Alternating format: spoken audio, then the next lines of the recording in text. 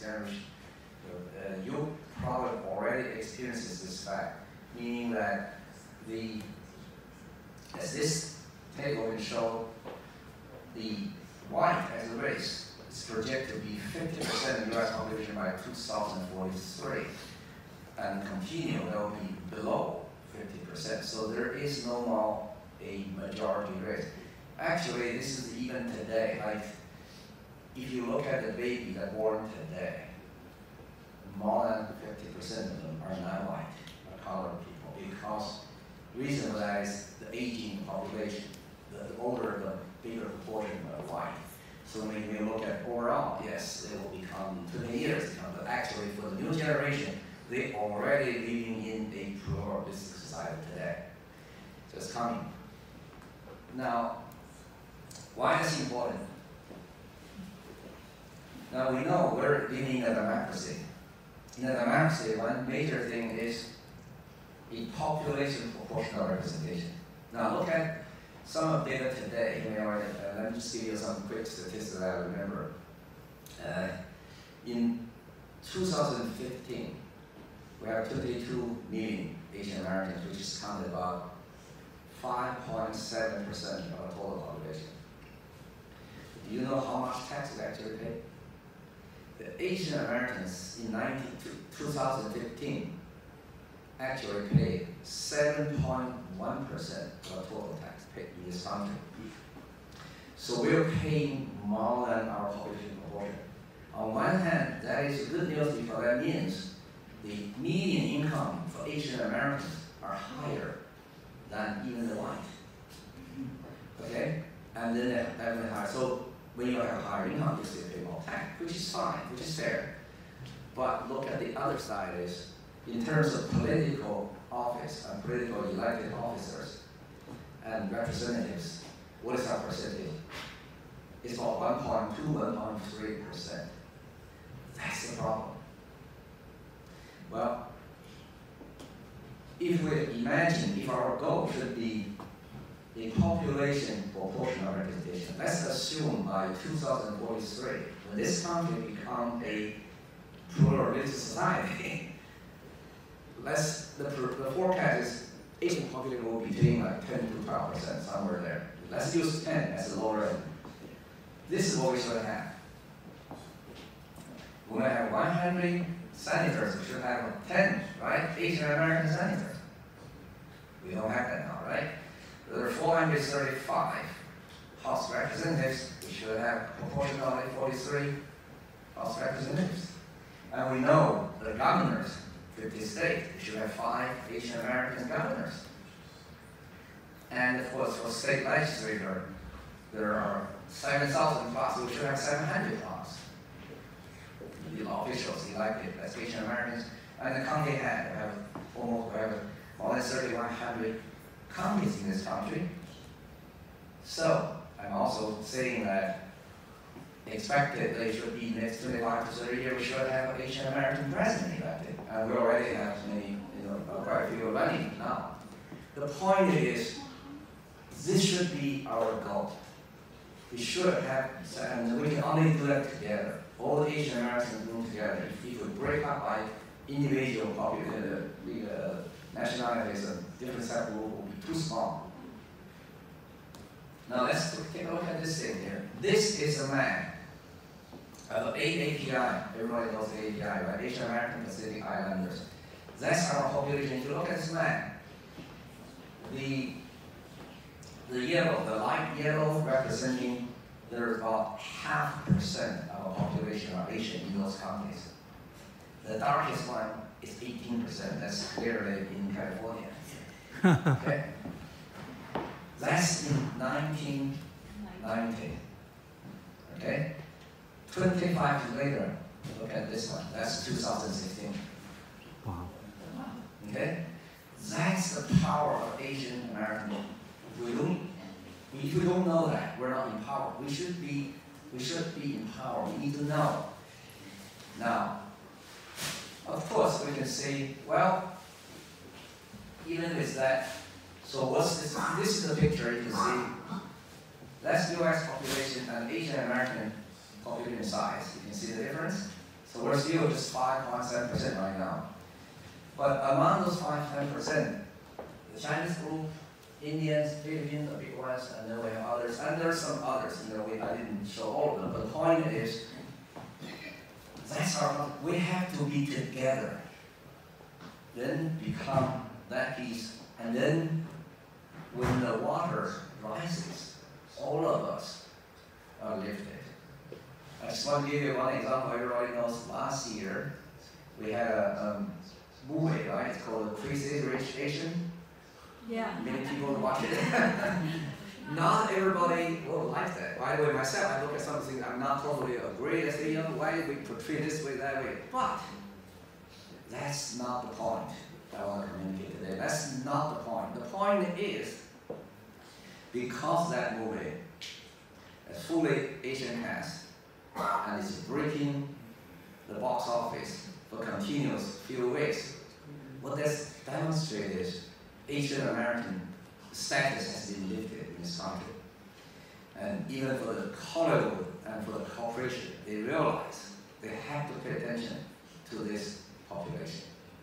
Because of the number there, and they will have high income, there's a power of purse, right? we have that. So that's so I'm thinking the point is not whether you like a movie or agree with that, but you're already benefit from that. For example, after the movie, when you walk on the street, you may maybe more people pay attention to you to say yeah, Asian American is also a very important part of US society. So this is the idea, this is the concept of when the water rises, rising water lifts all boats. We're all together in this. That's the reason why we need to work together. That's our situation, right? And let's see, can we make a difference? This is the data we have. Now, I hear many people talk, you know, talking to me and say, yeah, we're too small, we, we vote or don't vote, it doesn't really matter, you know. And sometimes they say, you know, the people I vote, it didn't get elected. You know, we just don't have enough voice. Think again. I want to express, you know, express my opinion on this one. This one is 2016 election. It's based on AAPI data. And you can see many was presented by each group, subgroup, and uh, Indians on top doing very well. And deal vote. And Chinese not doing too well. See they're at the bottom. And imagine this is important to know. Even the 48% register and also only 41% voted, that means really actually only 20% people vote. See that how that goes, the math goes? Because you start with you already have that not even register. So you're already lose your vote, right? And and sometimes we say, okay, well, if we I vote, but I don't think my candidate can win, so I just don't vote. That's wrong. Why is wrong? Actually, whether the candidate you vote win or not is not as important as the fact you actually voted. Because now the whole society is going into a data-driven society, right? If you didn't vote, you don't exist, right? If you don't have number, it didn't happen. So you kind of, that's the idea. So when each election over, politicians, they, what are they looking for? They're looking for last election. How many people actually voted? Who are they? If Asians never vote, they don't exist. So they don't, next election, they don't pay attention to you. They can just ignore you. You become marginalized. So whether the candidate you voted actually win or not is not as important as the fact you actually voted. Because the more you voted, next time they'll say, we better look at this group because they can make a difference. Now, the other thing is, the other chart you look at here, you see,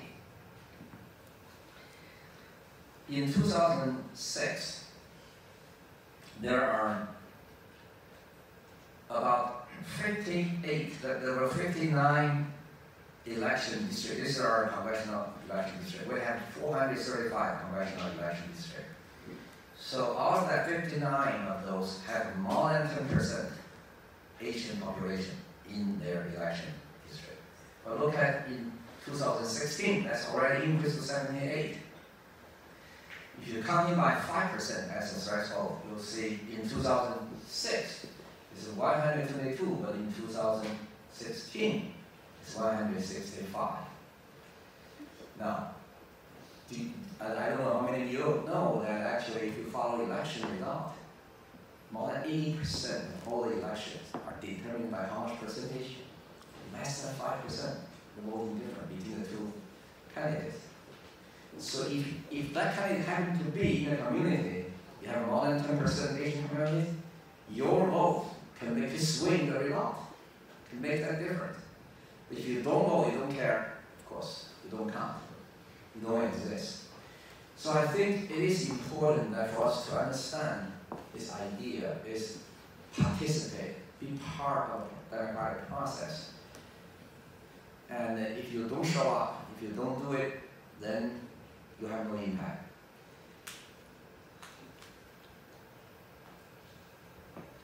Now, another thing I want to talk about is, of course, what's the significance of Asian American run for president? Now we know there are Kamala Harris, and there's Andrew Yang, and there may be others you know come up. The point, and many of you might talk to me say, well, they can't ever, they don't have a chance, you know, whatever. Again, I think they miss the point. That's not the point.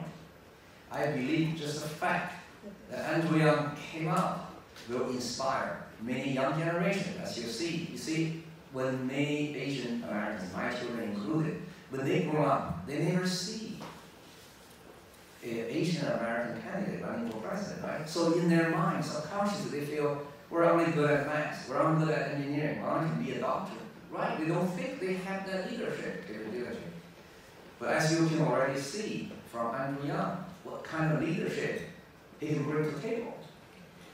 And so the fact that he demonstrated leadership is already changing our image and lifting our status, again, inspiring the next generation, and of course also give our generation hope in, in, in this country.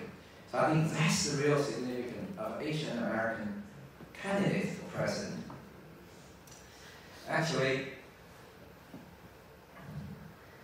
so that's why I would like to say whether one votes for AAPI candidates is a personalization.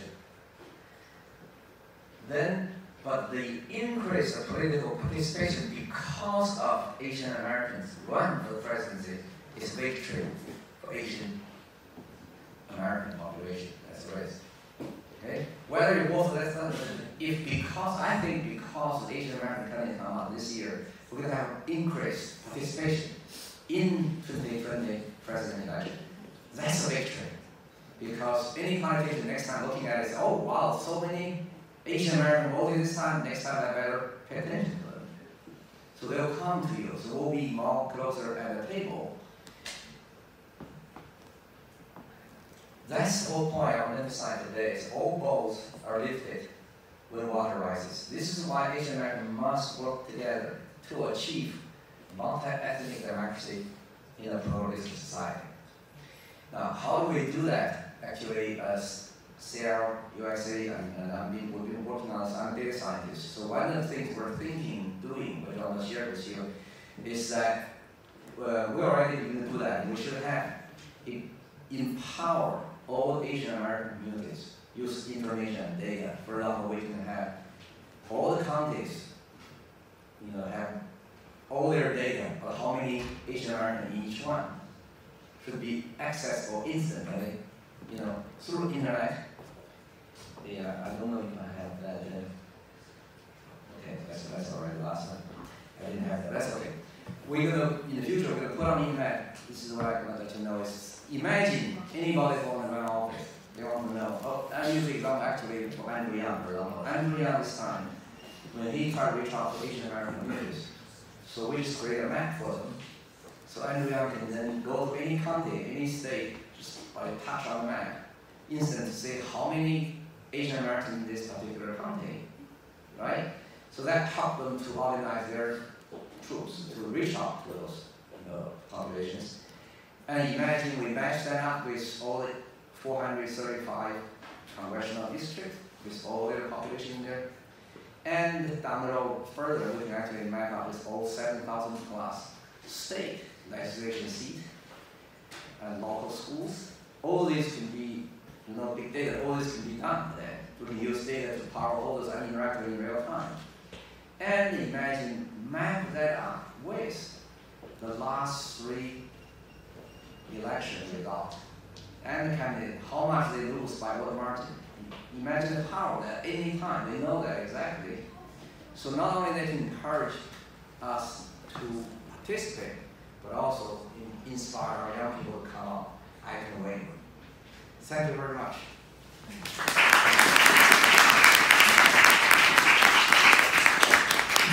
Thank you, Professor Zhang.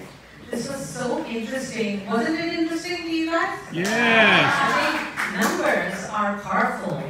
And thank you for sharing that with us. I'm always saying the same thing, you know, that there's power in numbers. If you not going to participate, what, what Anthony said earlier, if you're not at the table, you're on the menu. And um, thank you for reiterating that.